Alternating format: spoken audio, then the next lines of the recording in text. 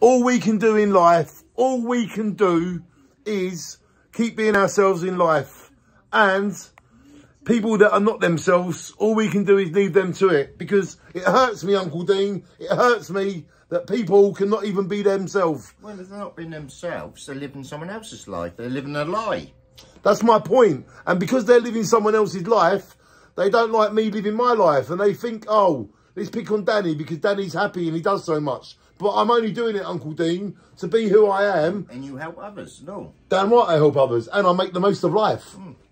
So, ladies and gentlemen, if you can't be yourself and you want to be someone else, then... Life's too short to be negative. Then it's not going to work. you got to be yourself. you got to make the most of your life because no, you can't expect someone else to make the most of your life. For you. Exactly. you got to do it for yourself. For sure.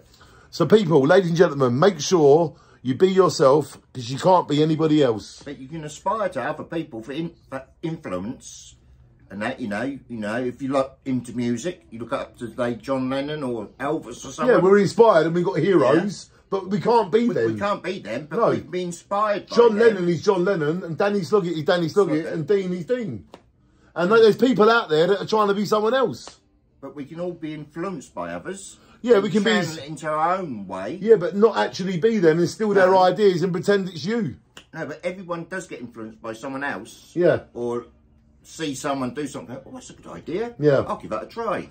You can't be anybody else. Just make sure you stay yourself.